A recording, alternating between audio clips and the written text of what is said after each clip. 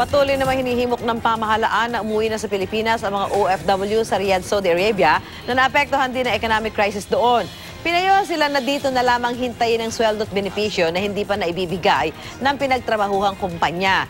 Sa pagbisita ni Labor Secretary Silvestre Bello doon, una niyang pinuntahan ang isang kampo kung saan may apat na raang OFW. Ayon kay Bello, kailangan pirmahan ng mga OFWs ang isang special power of attorney para sa kanilang claims. Abala naman ang iba't ibang ahensya ng pamahalaan sa pag-aasikaso at pagpuproseso ng mga dokumentong kailangan para sa mga gusto ng makauwi sa Pilipinas. Pero may ibang gustong manatili at magbaka sakali na makahanap ng malilipatang trabaho doon. Umaasa naman ang pamahalaan na matutulungan pa nilang makauwi ang isa hanggang dalawang libong OFW bago ang panahon ng Hajj.